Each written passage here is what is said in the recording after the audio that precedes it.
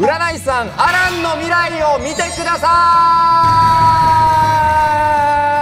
い。イエイ。2022年はというよー生し。オーラを見る。出たオーラ。はいオーラを見ると。えなそんなあれなんですか？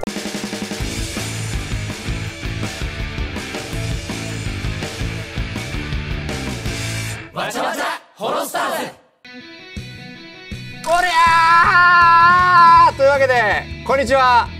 さあ始まりました。わちゃわちゃホロスターズのお時間でございます。えー、なんですねこの広い空間の中本日は私アルランディス一人でございます。本日どうぞよろしくお願いします。ということでですねまあなんか、えーこの一人でやるフューチャー会みたいなのが、えー他のメンバーでもあったと思うんですがそうです。今回はアルランディスフューチャー会という風になっております。よろしくお願いします。というわけでスタッフさんとやり取りをしなきゃいけないんですがガチャスタいつもと違って一人ですがどうですか？あれですね不安ですね。なんか絵が寂しいよね今ね。ちょっとなんかコメントとかがどうなってるかわかんないですけれども。一人でツッコミとボケと回しと全部やりきれるか、えー今日はチャレンジをねしていきたいと思うんですけど今回、えーなんで俺が一人で呼ばれたかと思うとすごい絵面だな、えーなんで呼ばれたかと言いますと、えー、ワチャスタ個人企画アルランディス編とえーいたしまして俺がやりたいことをやっていこうかなというような回でございます。題して占い師さんアランの未来を見てください!イエイ!というような企画になっております、えーどういうことかとえー言いますと占い師さんっているじゃないですか。いろんななんか街中でね1時間いくらで見たりだとかなんかこう商業施設の中にいたりとかいろんなところで占い師さんあとまあテレビとかでね見たことあると思うんですけど実際占い占いをしたことありますか？え実は私は生まれてこの方占いというものをねやったことがなくてでまあそもそも占いって言っちゃなんだけどどうなんっていうポジションにいるの。半信半疑なのよ。それなのでまあそういうポジションにいるので今回は、いろんなジャンルの占い師さんに俺のことを占っていただいて来年とか、まあ、今後アイドルとして、えどういう運勢なのかとか、まあ、アドバイスみたいなのをいろんな人からもらってよりこう来年からアルランディス、まあ、引いたホロスターズが盛り上がるようにするためにはどうしたらいいかみたいなのを今回ちょっとあのワチャスタっていうその何て言うんでしょう箱を使ってですね、えいいように、まあ、私がやりたいことをやらせてもらおうかなというような企画になっております。なので今日は、え複数の占い師さんえーお呼びして、まあ、占ってもらってで、えーまあ、その結果をもらって、まあ、どうなってるかなみたいな。もしかしたらもしかしたらよ。分かんないけど A の占い師さんが言ってることと B の占い師さんが言ってることが違うみたいな。同じような話してるんだけどこう正反対のこと言ってるみたいになった時に占いどうなんみたいなことをちょっとこう俺は期待している。悪いやつだななんかこれだけ言うと大丈夫かな？ちょっといいように編集してください。というわけでじゃあ早速1人目の方をお呼びしたいと思います。えー、1人目の占い師さんよろしくお願いします。よろしくお願いします。よいしょ。というわけでどうもよろしくお願いします。よろしくお願いします。じゃあ軽く自己紹介なんかをよろしくお願いします。はい吉本興業で占い芸人をしてます。アポロン山崎と申します。よろしくお願いしお願いします。ます、はい。占い師兼芸人さんってことですか？そうですね。え今占い師とお笑いだとど何対何ぐらいのあれですか？非活動比率でいうと。99対1ぐらいちゃいますか？ほぼじゃあ占い師でほぼ占いの方の仕事でなんとかやっていけてます。へえあじゃあ相当はちょっと期待してもいい感じもうですあの今まで7万人見てきたので。お、はい。相当なじゃあ実績を。ありがとうございます。えちなみにその7万人の中にああの俺 VTuber っていう一応カテゴリーの人類なんですけど VTuber とか見たことありますか、VTuber さんも見させていただきました、えー、マジっすか？はい。あそうなんだ。いるんだ、はへえじゃあちょっと期待しちゃっていいですか？よろしくお願いします、どんな占いとかありますか？えっと今回はですね、はい。手相と生年月日で占っていこうかなと思ってます。ですので皆さんもアランさんと同じ手相があるかどうかをチェックしていただくような感じで見ていただければなと。なるほどなるほど。今、はい。コメントとか一緒に見てくれてる人もその手相のイラストにある線とかを見てあこれ私ある、俺あるみたいなのでそうです。いろいろわかる。へえちなみに占いをやったことがないんですよ。はいはいはいはい受けたことがないんでその、はい。なんかテレビとかでも見たことあっていや、はい。本当？みたいないやそんなこと言ってるけど実際当たるんみたいな。まあでも手相とかって言ったらはい。足のツボ信じんのに手のシワ信じないっておかしいんですよ。あー自学の一部の可能性あるので。はいはいはいそっかそっかそっか、はい。足つぼマッサーなので手相をジとかと強めにあのお伝えすると、まあ、ご本人の手なのでうんうんちゃんと当たるという自信がありおます。ー。じゃあよろしくお願いします。はいよろしくお願いします。はい。じゃあ最初ははい。手相からですかね。はい、なんか。手相ってというか、はい。まずめちゃくちゃ一つ言いたいことがあってあはいお願いします。アランさん占い行った方が良かったっすよ。え？今まで行ってないって言ったじゃないですか、はいそうですそうです。ここね両手ともねま、はい。っすぐつながってません？あそうなんそうそうそうなんですよ。手のひらをこうピュッて合わせるとあの小指の付け根あたりにあたりでこう全部つながってますよね。そうなんですそうなんですそうなんです。これ両手ともつながってる人って1万人に1人いるかいないかって言ってそうです。よまあ。あそうなんですか？はい、片手だけでも、まあ、貴重だと言われてる100人に1人とかって言われてるんですけど、マスカケ線っていう線なんですね。へえへえあなんか聞いたことあるかもはい、あの徳川家康とか豊臣秀吉が持ってたと言われる波乱万丈な人生の方を選ぶけど成功できるよって言ってそうなんですね。へえなので今のじあの時代で言うと芸能人自営業の人が結構持ってる人が多い。そうなんだ。かなりまああの貴重というか芸能人でいうと木村拓哉さんとかえダウンタウンの浜田さんも両手マスカケなんですけどそこと並んじゃうんですか？並びダウンタウン、アルランディスですか？そうです。そうです。そうです。マジっすか？はい。別に三段落ちにしてないマジの3つです。それへえはい。本当に。なので結構普通に手相を見せたら手相の占い師からしたらめちゃくちゃいい手相よって言われるやつですね。そうなんだ。あのそもそも手相が良すぎるぐらいいいのでこれからのがもっとあの良くなるんじゃないかなと思います。あそうなんですか。ここのところにこういうのもないですか？左手かあ右でも左でもどちらでもいいです、あはいはいはい。どちらもありますよね結構長いの。なんかなんか結構シワが多いんですよ。はいこのシワがいいシワでへえこれモテ線っていう線です。モテ線。はい。モテるんや。はいこれモテる、まあ、アランさんは数えたら12345本ぐらいモテ線あるんですけど、はい。8本あったのが前田あっちゃんでした なので、はいはいはいはい。あのここからもっともっとアイドルとして成功できて一番上に立った時は8本ある可能性があるので今5本なのでまだこれから伸びしろもありますしあるという時点で奇跡に近いぐらいモテ線って貴重な線なので、えー、あそうなんですか？はい。えー、えってか増えるんですか？あ全然増えます。えあそうなんだ。はい、あの占い割れる側のプロとかは前と来た時の手相これやって今こうなってるんですけどどこ変わりましたかって聞いてくる人いるぐらいなんで。あそうなんだ。なので、まあ、今の状況を見とって例えば1年後に見た時にモテ線が増えたらファンが増えるとかいろんなあの人が歩み寄ってくるような素敵な人っていうのはこの線の意味なんですね。そうなんだ、はい。これが現状5本あるそうですね、あの5本あるのでかなり今の時点でもかなりいいんですけどここからもまだ伸びるんじゃないかなという。めちゃくちゃ褒めてくれるじゃないですか。いやいや手相マジでいいんです。これちょっと騙されたと思って静かな感じでどっかあの百貨店とかあのスーパーとかやってるじゃないはい、なんかいですっぱいいらっしゃいますね。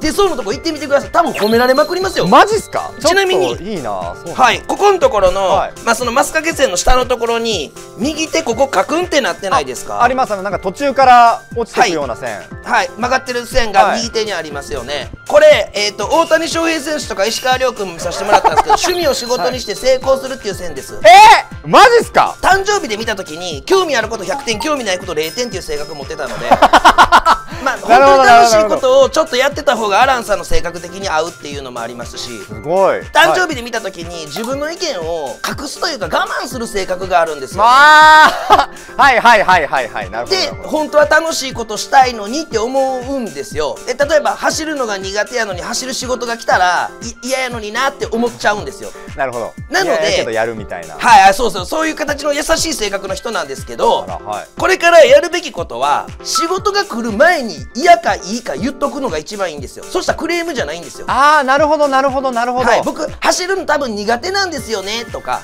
なんか水着になるの僕嫌なんですよねとか例えばなんかそういうなんか歌うん嫌なんですよねとか多分嫌いなことを先に伝える場合はクレームじゃないんですよ。そうかそうかそうかそうか、はい。なるほどね。そう苦手なジャンルこれですって言っとくっていうこと。そうそれは言っといたらそうなんだと向こうも取ってくれるしあーなるほど。結構アランさんのしたくないジャンルやってる時のテンションめっちゃ下がるっていう性格ってやべえやべえ当たってるかもしれない。はい、っていう確かに。のがかなり誕生日でもはっきり出てるので、そういう意味で言うとそこは大事にした方がいいかなと思いまあーちゃんとはっきりと嫌なことは嫌だっていう。すそうですね。大切なんだそれは。ねでちあのもう一個の、はい。えっと、左手の方の手相がめっちゃ下下がってないですか？あそうですそうですそうですそうです。そうですこれ右でも左でももちろん全部どのテストもいいんですけど、うんうんうん。これあの皆さん見ておられる方も結構この線になってる人多いかもしれないんですけど、はい。想像力豊かという線です。あへえ、まあ、映画見たりとか音楽聴いたりとかそういうのが好きな線なので表現の星なんですね。なので自分を捨ててとにかく何でも頑張ってやってみるというかその楽しいと思うことを表現するえなんか表現するのも申し訳ないのかなってちょちょっと思うところもあるんですよね。なるほどなるほどなるほど。なんかこう言葉にするときに言ってよかったかな悪かったかなみたいな。ってことも気にしたりとはか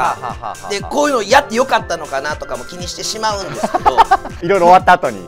はいそうそうそうそうならないようにこのタイプの人は恥を捨ててとにかく何でもやってみようというのが一応テーマになります。あへえそういう右でもはい左でもストンと落ちる線がある人はそうこれは想像力豊かという人なので、あのそういう例えばあの音楽ライブに行くのが好きやったりとか、はいはいはいはい。テレビを YouTube 見るのが好きだよみたいな人はこういうような線になってる人が多いんですけどその線は持っておられるので自分を捨ててとにかくいろんなものを表現するようにするとよりうまくいくって言ってそうもあるので手相自体がかなりどれ言ってもいい感じでしかないぐらいめちゃくちゃいいんですよね。えー、なんかじゃあたあれですかね。今一応アイドルをやらせてもらってるんですけどフォロスターズってアイドル事務所なんですけど、はい。アイドルになってよかったんですかね。僕はめちゃくちゃ向いてるとまずまず芸能界というかそうチャレンジすることでであと楽しいこともできる仕事で、うんうんこれからちょっと表現だけが抑えてしまう傾向があるので、なるほどなるほど。はい、そこだけちゃんとやればかなりいいんじゃないかなという感じです。あーありがとうございます。はい、そんな感じでした。じゃあここにいることは間違いではなく今後より成功するためにはその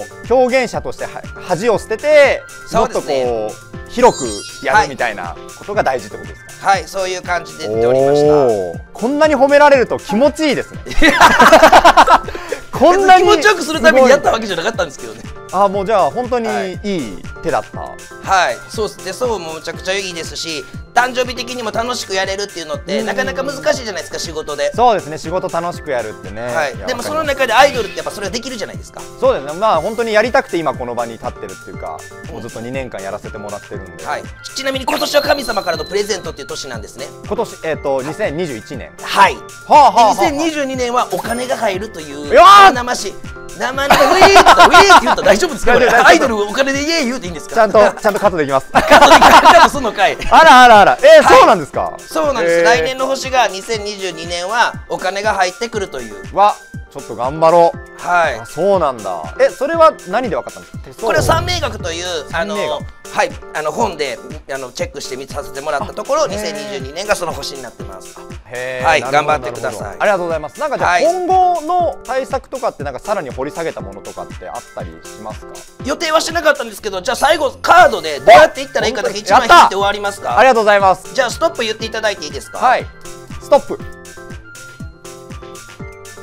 はいここのところにまあちょっとイベントっていう英語が書いてあるんですけど、はまあこれあのカラスがこの骨持てたのが貴重な出来事という意味なんですけどあそうなんだなんか悪そうな絵に見えるけど。いいいいカードで。あいいカードなんですはい、イベントっていうカードなんですけど、はいはいはいはいい、つもしないことのイベントをいろいろやってみたりするとかいうのがあなたにとっていいですよっていうのはこのカードの意味です。ああなるほどなるほど。はい、じゃあ普段なんか同じようなことばっかりじゃなくていろいろ挑戦していった方が今後いいこと起こるよっていう。そうですね、まあ、VTuber のこの形で見れる、例えばライブをやってみるとか。はいはいはいはいあのなんかそういういつも今回みたいなあの一人で、うんうん。あのなんか YouTube をやってみるとか。まあ、この活動を基軸に普段やらないことでいろいろこう人を楽しませるようなことをやるとあそうです。そういうなんかいつもしないことをこれからしていくと良くなるよっていうのはこのカードなのでいろんなイベントをしてみるのはいいかもしれないですね。なるほど、はい。ありがとうございます。じゃあチャレンジ精神旺盛にそうですよ。好きなことぜひやってった時はめっちゃ強いと思ううので。わーありがとうございます。じゃあちょっと最後になんですけど、はい。そのなんかいろいろな手相からタロットからいろいろやってもらったと思うんですけど、はい。なんか総評みたいなのをいただいてもいいですか？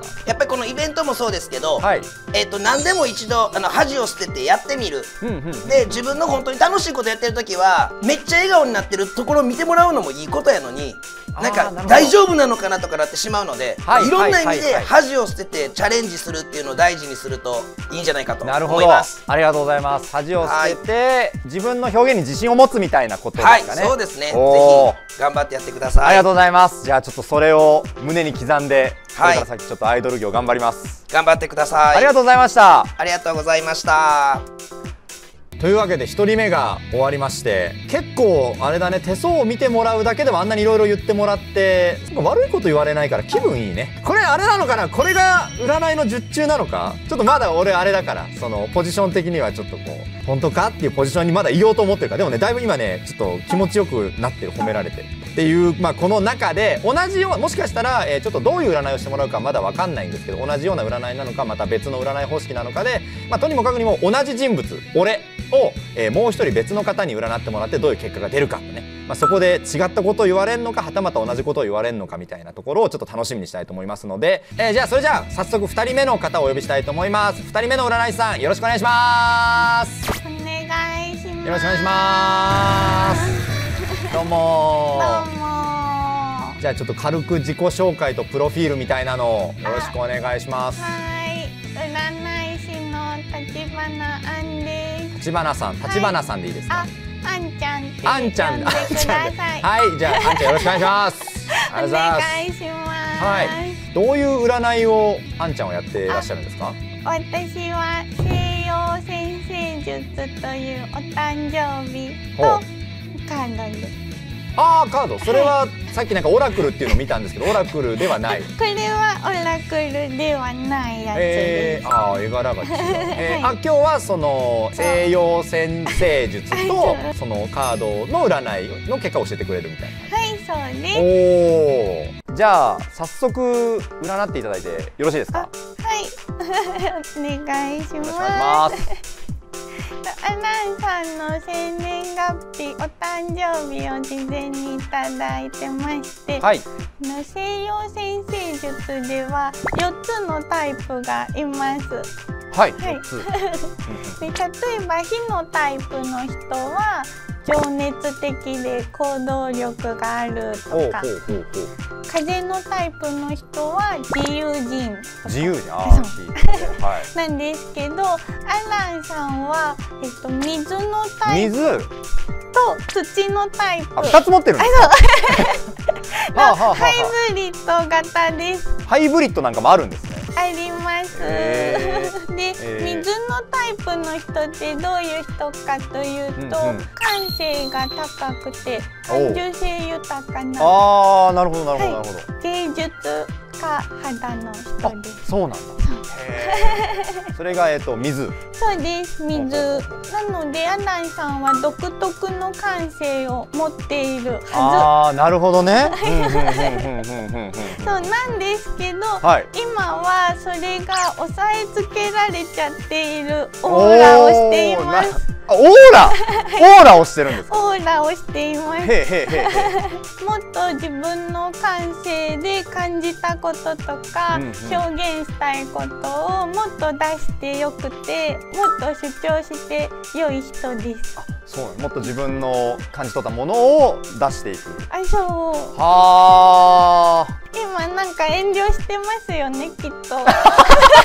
いやまあ別にそんなことはないですけれど。もいやいや全然全然本当に。言えない。でなんかルールでなんか押さえつけ ルールではなるほど。なかなかギリギリのラインをこう攻めようとしてきますまあでも確かに。いやでも、うん。なんか実はその企画として一個前に、あのまあ多分別の占い方法だと思うんですけど、あの占い師の方に占ってもらっていて、うんその方にもなんか似たようなことを言われてたので、えああーなるほどなみたいなテンションではいますテンション。はい、なるほどなるほど。で水の人もう一個特徴があって、生まれながらにあの優しさと愛情を備えています。すごいえめちゃくちゃじゃあいい人ってことですか？いい人。ああどうもいい人です。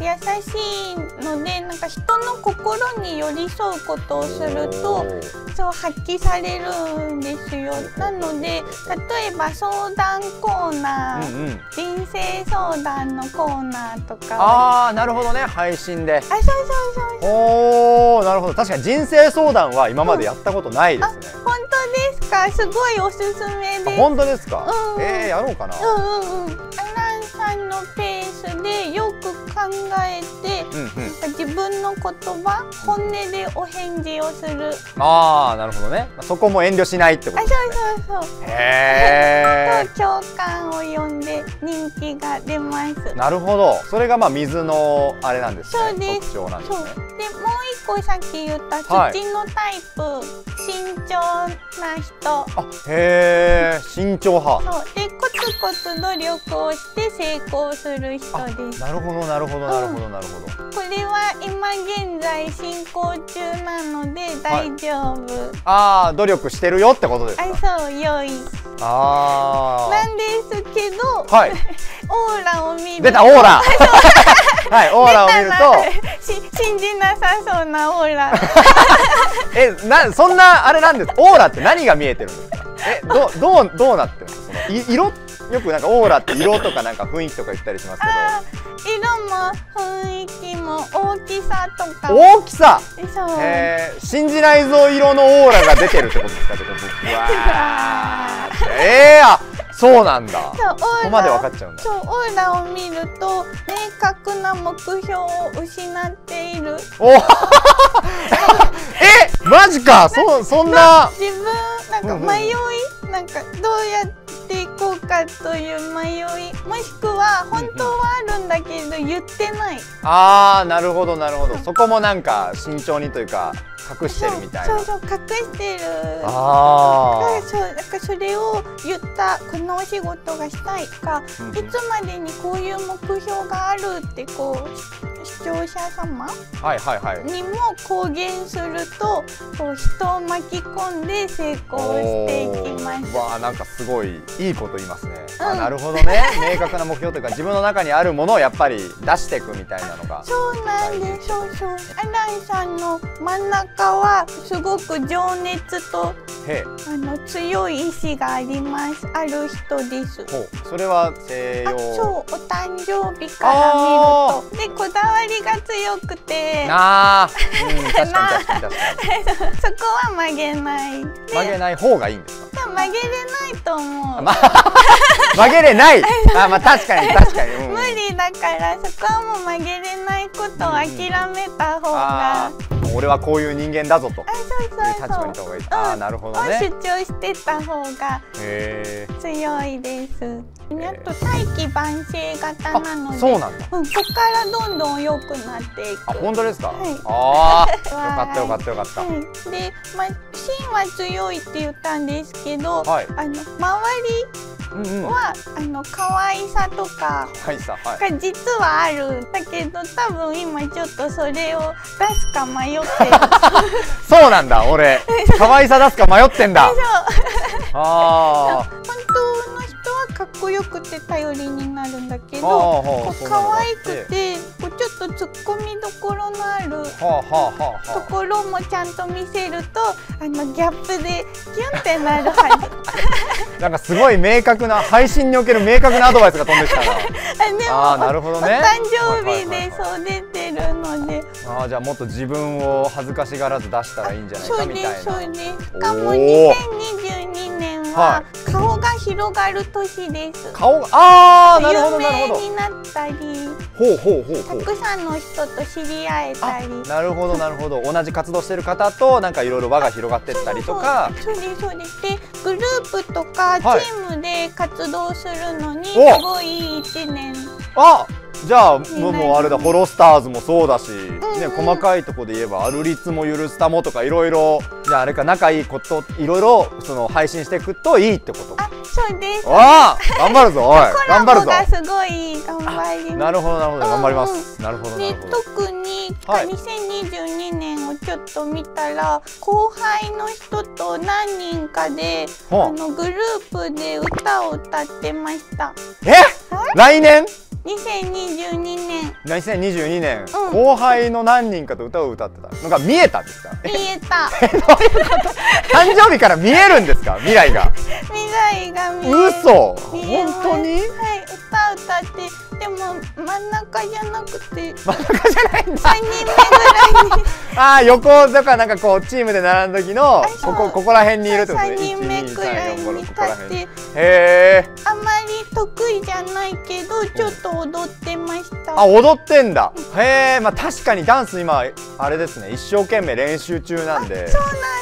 ああそうなんだ。えじゃあ来年もなんかもしかしたらあるのか。それは。2022年それが出てました、そんななんか具体的なことまではいわ分かります、へえちなみに。な占い。はい。2021年の、はい。えっと、1月は新しいゲームしてました。それはでもしてると思うな。それはしてると思うぞ。で2月はなんか司会をしてました、司会？えどれぐらいのとかわかります？あ人数ですか？なんかそうですね。大きさというかなんかどういうものかみたいな多分56人。の2月は男の人ばっかり。で司会をして進行してますえっと配信だと思うイベントじゃなくて。あイベントじゃなくてなんかの配信、うおおでもなんかけいいいいなんか大丈夫ですか？具体的にそんな言っちゃって。あやっぱ自信はあるんですね。か寄せ,、えー。寄せてくれれば。あなるほどね。そっか言うことによってこう運が来るというかそういうのが舞い込んでくる可能性もあるのか。まあでも合ってると思う、うん、で7月と8月はイベントで盛り上がりますああ夏なんかイベントがあるんだ。と前後しちゃうんだけど5月は旅運がある。旅？ご当地ネタとか。旅行とか地方行ったりとか。へえあーまあ確かに5月頃なら旅行行っても良さそうな雰囲気になってるかもしれないから。で最後に10月は目標達成してます。10月に？うん。ああじゃあ来年末ちょい前ぐらい。そうです。おおなんか人数の人数の。なんか目標達成して喜あんでる。はいはいはい。なんかチャンネル登録者なのかあなんかいろいろ数字として見る何か。あツイッターのフォロワーとか。はあ。喜んでます。10月。そうです。言いますね。だいぶ言いますね。そんなにしっかり。ああじゃあちょっともちろん頑張りますけど楽しみにしてます。本当になんかタイムカプセルみたいでいいですね。そうですね。合ってるか合ってないかというかうん。楽しみにちょっとじゃあ楽しみに2022年頑張ります。はい。でまおすすめがはいあって、すおすすめ。はいえっとグルメがおすすめです。グルメ？ルメ。あご飯食べるやつ。はい。お好きへでえすか？あそうですね。ご飯美味しいもの食べるのは好きですね。あの生まれつき食との縁が深いんです。そうなんだ。そう。初めて言われた。は食との縁が深い。そう。だからご飯食べるレポしたり例えばご飯作るでもいい。あいいんだそういうの。あそうです。そうなんだ。そうお店の紹介でもいいんですけど、なんか食べ物に関するのは食べ物系。うん。あーちょっとじゃあマネージャーに言っときます。はい人気。食べ物と相性がいいんだ俺。うんすごいです、えー、なんか確かにでも今年やってないですね。食べ物系はあんまりほとんど触れずに来てますね。あ本当ですか、はい。やったー。じゃあ来年2022年とかからちょっと、そうですね。で来年2022年は特に好きなこととか趣味が仕事になる。おおさらさらに。あそうです。で自分自己主張できる年なので、はいはいはいはい。好きなことからやっていった方が。おお好きなことからやってく。るはい良いですね。ありがとうございます。えー、なんかじゃあ総合的に見たらいいいい？いい年。いい年。ただ一つだけ、はい。その土のタイプで新井さんは特に慎重すぎる、うんうんうんうん。ところがあるのでなんかもっと大胆になった方がはあパーンと羽ばたきますそう。恥ずかしがらずにやりきれるようになったら良いです、うん。よりこう表現力を上げていくじゃないですけどこうもっとこう、自分を出すなんか殻を破ってああなるほどね。それがあるともっとこう飛躍できる。すげえ的確だな。なんかほんまか？いやすごいな。誕生日だけでそんなにがっつりいきます？がっつりいき月指定となんか具体的ななんかシチュエーションみたいなのまで来ましたけれど総じてじゃあ今この場にいるのはうん。間違いではないと。うん、合ってる。なるほどなるほど。でも信じてこのままこの道を進めばいいみたいなそうです。その2つがあんちゃん先生の得意なやつですかね。そうですね。なるほどなるほど、はいじゃあなんかそうですねいろいろもらったんでなんか総評みたいなのを含めて今後の対策じゃないですけど、はい。今後どうしたらいいよっていう話となんか今回その占った結果まとめてこうですみたいなのをちょっと軽くいただけますでしょうか、はい。アイドルさんは合ってる、はい、合ってる、でも、アイドル大丈夫？はい。大丈夫、でももっと大胆に。大胆に、はい。恥じらいを捨てて、うんうんうん。バーンとしてみましょう。ああなるほどね。ここでなんかこうこういうこういう動きをしてみちゃうのも大胆ってことですよね。とってもなる良いほどね。いいのかな？これで合ってるのかな大胆さそういうのが可愛いってなる。なってるか？コメント。なってるか？そうだ？まあ確かにでもうん。確かに今までこういう 3D の配信とかも何回か過去してたりとかイベントの、えーなんか仕事とかした時にやっていいのかな？悪いのかな？あーやめとこう。みたいなのは確かにありました。えー、もったいない。そういうのをなんか今後はちょっとやってってもいいかもしれない。はあうわ結構勇気いるぞそれ。マジか。きっとみなんだお客様求めてくれあて本当ですか？喜んでくれると思います。じゃあちょっと迷ったらやるで。はいやってみる。うん基本的にはプラスで進んでいくよってことですよね、うんオ基本的にはプラスで進んでって今後もっとこう爆発的に大きくなっていくためには表現力を自分の殻を破るみたいなはい。ことをしていった方がいいと思うんですね。です。ああなるほど胸に刻みます。ありがとうございます。なんか意外とごめんなさいなんか、い。あの占い師の方に言うのもあれですけど、いいえ言言ってることが一致してるんですよね。一一応あの前一個前に占ってもらったんですけど多分方法違うけど来年の運勢とかなんかそのあなたはこういう人ですみたいなのは確かに合ってるような気がその一致してたんではい。なんか今あ見れるんだーみたいな感じにはちょっとなっちゃってるかもしれない。どオーラ変わってますか？オーラ変わってますか？どうですか？ほらちょっと変わった。ほんまか。じゃあやっぱちゃんと出るんだ。いやありがとうございました。ありがとうございます。すごい面白かったです。ありがとうございますはいというわけでですね、えーお二人の占い師の方に占ってもらいまして言っちゃなんですがこっからなんですよ。今めちゃくちゃ褒められましたけどこっからなんですよ。俺のマチャスタでやりたかった企画はこっからで実際お二人に占ってもらったけどえじゃあ結局結果どうだったみたいな。釣り合わせていくみたいな。もしかしたらこれはテレビとかじゃできないかもしれないと勝手に思ってる、えー俺を占ってくれた先ほど占ってくれた、えーアポロンさんとアンちゃん先生ですね。を同時にお呼びしてまあちょっといや実は二人に占ってもらったんすよみたいな。こういうことでしたよねみたいな。ちょっと話をしようかなと思います。なんかこれ大丈夫かな？怒られないかな、えーというわけでですねちょっと早速お二人をお呼びして、えーまあなんかその結果のすり合わせじゃないですけれどもなんかそういうのをちょっと軽くしていこうかなと思います。というわけでじゃあ、えーお二人よろしくお願いします。お願い。よろしよくお願いします。ろしくお願いします。ありがとうございましたすいません。なんかこんな実験みたいな企画をしてしまって。占っていただいたんですけどやっぱあれですね。占いの方法はお二人はその違うんですよね。流派というかその。そうですね。なるほどなるほど。なんかでもその中で結構一致してたものがあったんですけどなんかうんアポロン先生に聞きたいんですけどはい。来年で気をつけなきゃいけないことって何？かありますか僕が。えっとちょっともう一回手相出していいですか？はい大丈夫です。これに関してはアンさんも言ってたんですけどあやっぱなるんだ。はいはいはいはい。マスカ月線は、まあ、両手って言ってたじゃないですか。はいくつぐのやつ言ってました？はいでそこにここが2本あるんですよ。はいはいはいはい。これ二重感情線っていう線で根性の塊って全部自分で我慢して全部自分でやろうとしてしまうという、まあ、土の星とかいう話でアンさんは喋っておられましたけど、はい。根性で乗り切ろうとしすぎてまうというかあ手相にも出てるんだ。はいそれは思ってたんですけどまあ時間かなと思って言わなかったんですが、まあ、根性があるという意味ではいいんですけどなるほどなるほど。それを、あのーもう少し表現できる形に持ち込めたらもっともっと良くなるんじゃないかなという我慢じゃなくて人に頼りながら自分のできることをいろいろ表現するっていうのは大事かなという。まあ、確かにあるもんな。そうですよね。言ってないだけであるんだからそういうことなんですね。手相にあるんだから、はい。ええー、一致するんだ。なのでみんなで頑張りながらうんうんうんうん。人に頼ってで自分の中でもいろいろ出すっていうの大事かもしれません。ああなるほどなるほどなるほど。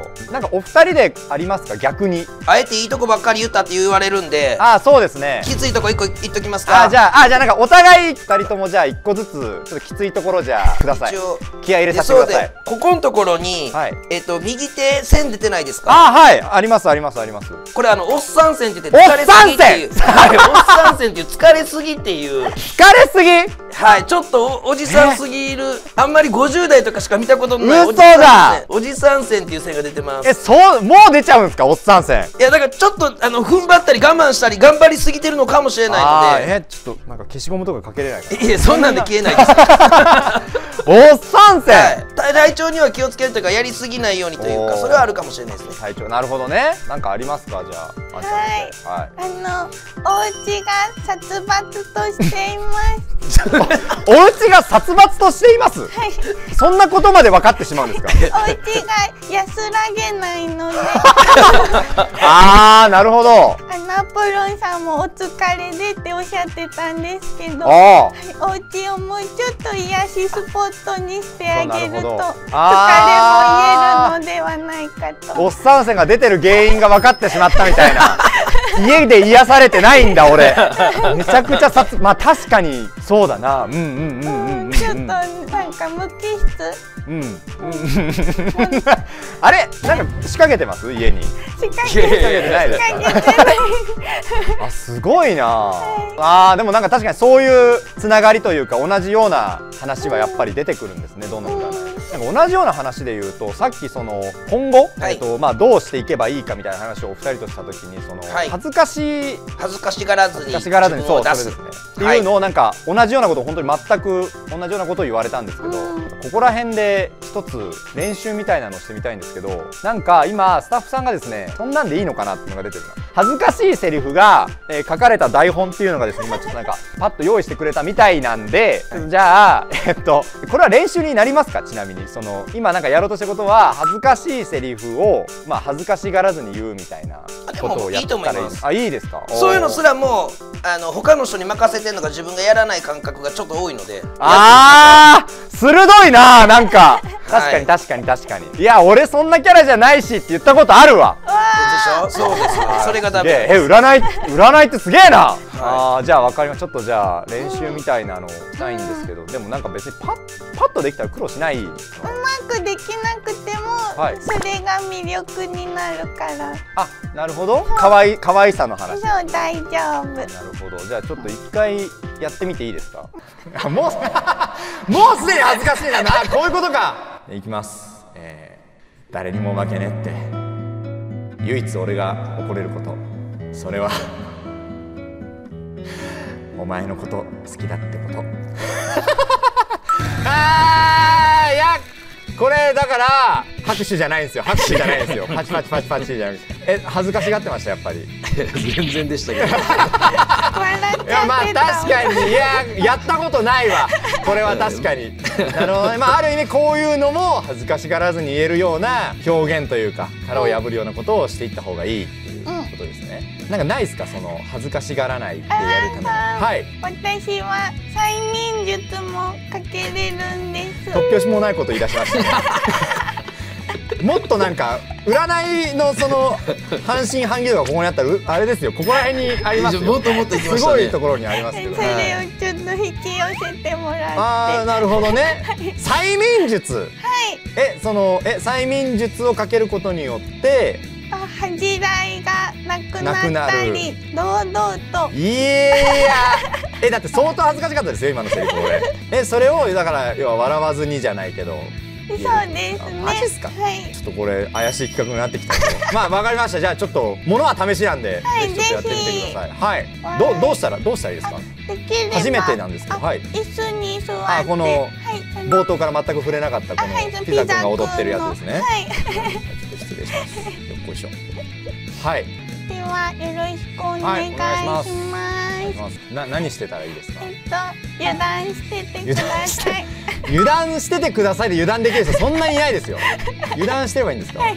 まあはいゆるっと座っていただいて、はい。背もたれはかけた方がいいかもしれませんね。あ、そうですね。はい、でまあ目はできればつぶってもらって、開けたくなったらいつでも開けてください。ゃあお願いします。えっと、お昼寝しますか？普段。普段しないですね。二度寝は？あーはしますじゃあ二度寝する時みたいになると思います、ほう。口は開けてても閉じてても、これ、え何してるんですか今これは？あ今は催眠誘導というのをしています催眠状態になってもらう作業ですほじゃあそのままちょっと話しますね、はい。じゃあ息を吸ったりはいそうですね吸ったり吐いたりし続けて周りの声とか視線を感じていてもあなたは自分の呼吸をそうですね、はい、だんだんと体の力が抜けてくる人もいますし頭はまだ考え事をしていても。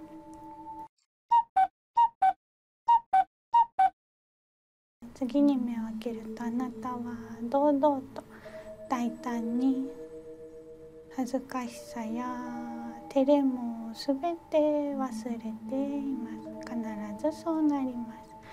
一つ三つ。おはようございます。うおはようございます。今どんな感じでしたか？今どんな今どんな感じ？あんまり変わってる感じはしないですね。おい。いですね、いいいいんです。いいん大丈夫ですか？はい。頭ではまだ気づいてなくても。えー、本当ですか？はい。やってみましょう。はい。え本当かな？誰にも負けねって唯一俺が誇れること。それはお前のことが好きだってこと。おお どうですか、まあ、た確かにさっきよりは自信を持っていたような気がするお本当ですか？ような気がしなくもない。これなんかもしかして何個かもらえるのかな？セリフが。あなんかもう一個来たなあでもなんか確かにうん。恥ずかしくないわ読んでも。お本当ですか？やった素晴らしい。じゃあもうもう一個いきますか。はい。そりゃお前は俺のだから独占するに決まってんじゃん。あー言えるわ。言えるわ。言えます。あすごい。やったすごい。えこんなに何個もちょっと待って何個用意してるの？あーなるほどなるほどなるほど。あなんかその恥ずかしいと俺笑っちゃうんですけど、そのなんか別に笑えるんですね。このわかんない。今催眠にかかってるかどうかわかんないですけど こういう感じで話してる最中には笑えるけど、その表現する時に真面目にいけるみたいな感じなのかな、じゃあもらってるのがあと2つあるみたいなんでちょっとじゃあそれをやらせてください。にゃに何してんだよ！寂しいじゃないか！何これ？でも確かに確かに恥ずかしくはないなすごいな。おーなるほど。じゃあちょっとラスト、えー赤ちゃん言葉で自己紹介して赤ちゃん言葉。えっとロスターズ1期生チャキチャキのイタリア人のアルランディスです。よろしくお願いします。合ってんのかな？合ってんのかな？どうどうでした？見てて。できてました？いやあのなんか全然恥じらいはない感じになった気がしましたけあどーすごい。でもまあ確かに自信は途中持ってたような気がする。完全にピザ君が催眠かけてんのかなと思う感じだったんですけど。絵面的にね、はいめちゃくちゃ触れてますそこいんのかなっていうぐらい。確かに確かに。すごい。わー。確かになんか自信を持っていけたような気がしなくもない。あーすごい。やっぱえやっぱ誰でもかかるもんなんですか？大体は。えそういうのってどういう時に使うんですか？催眠術って。どういう時？困った時。また。あーなるほど。えなんかさっきみたいにその俺自信持って恥ずかしいセリフ言えないとかなんか恥ずかしいセリフ言う時に恥ずかしがっちゃうみたいなのがあったりとかするそういう場面の前になんか例えばこうなんか俳優さんとか芸人さんとか、まあ、そういうなんかタレントさんとかが自分に自信持ちたいみたいな時に使うんですか？そうですね。あと人前でプレゼンする時緊張しちゃいますとか。そうそう。あじゃあなんかその特別なものじゃなくて結構一般の方というか普通に会社で働いてるような方も使う機会がある。はいそうです。はあ。あと美容催眠とかが一般には人美気の容催眠？方には。はい。